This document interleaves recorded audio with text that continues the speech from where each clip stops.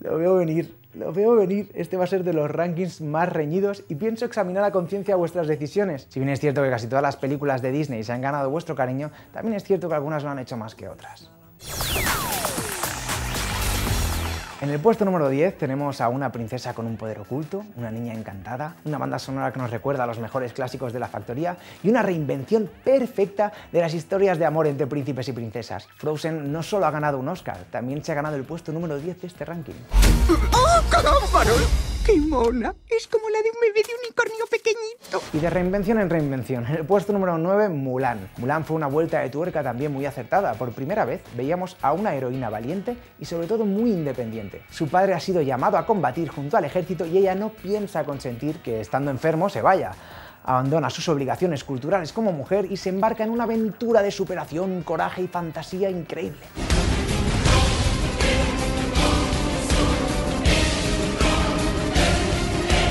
El puesto número 8, La Sirenita. Para muchos, entre los que me incluyo, la película. Agobiado por un padre posesivo y temeroso del mundo exterior, Ariel entregará su voz a una de las brujas más malvadas que han salido de la fábrica de Disney.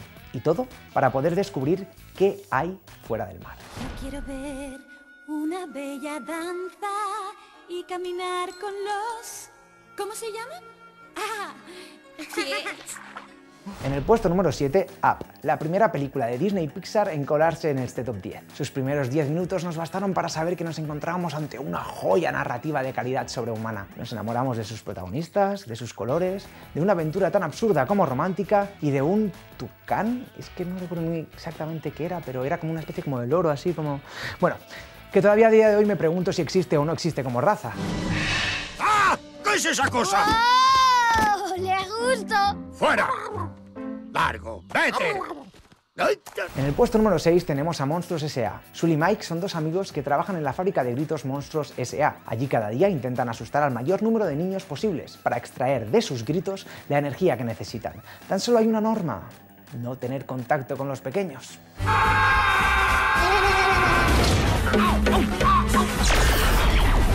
Creo que ahora es el momento del pánico. En el puesto número 5 nos encontramos con Aladín. Agrava se encuentra en peligro, un peligro que ni el mismo rey es capaz de predecir, ya que el malvado visir real Jafar planea apoderarse del reino, utilizando los poderes de un ancestral genio. Para conseguir llegar a él necesitará un diamante en bruto, un alma honesta y sincera que se adentre en la cueva de las mil maravillas para conseguir la lámpara mágica en la que reside el genio. ¿Genio? Deseo que me conviertas en un príncipe. Tiene la lámpara. El palacio es increíble, ¿eh? En el puesto número 4 tenemos a Buscando a Nemo. Recuerda, los peces son amigos, no comida. Buscando a Nemo es a Pixar lo que el Rey León es a Disney, una aventura paterno-filial con un reino animal lleno de personajes entrañables. Ganadora del Oscar a Mejor Película de Animación y merecidísimo, es la primera película de Pixar en la que vemos sangre de verdad. Y es justo en el momento, no sé si os acordáis, en el que Dory es golpeada así en la nariz ese momento en el que Bruce, el tiburón vegano, pues vuelve a sentir hambre de nuevo y se abalanza sobre ella. ¡Es un pelícano! ¡Ah! ¡Ajusten sus cinturones! ¡Oigan! ¡Otra vez! ¡Ayúdenme! En el puesto número 3, La Bella y la Bestia. ¿Flores? ¿Bombones? ¿Promesas que no se piensan cumplir? La Bella y la Bestia es un cuento de hadas tradicional europeo que Disney llevó al cine en el año 91. Canciones como Qué festín, Bella y Bestia son atemporales y aunque pasen los años siguen enamorando a las nuevas generaciones, que se lo digan a mis primos pequeños. Como curiosidad, ¿sabíais que la bestia se llamaba Adam? No se menciona en toda la película, pero sí en los guiones. Surge la ilusión, fábula ancestral,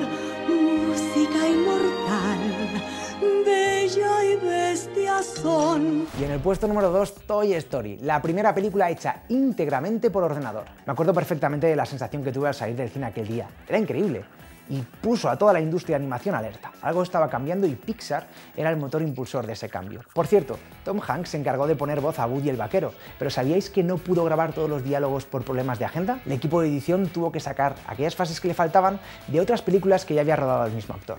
Yo me llamo Woody este es mi sitio. Soy Bud Lightyear. Vengo en son de paz. Te equivocas, no eres más que el juguete de un niño. Y en el puesto número uno, ahora sí que sí, El Gran Rey León, merecidísimo primer puesto. Basada en la tragedia de Hamlet de William Shakespeare, nos encontramos con Simba, un león que busca encontrar su sitio en el círculo de la vida, con una escena introductoria que nos ponía los pelos de gallina, canciones pegadizas y un final que marcó a toda una generación de niños.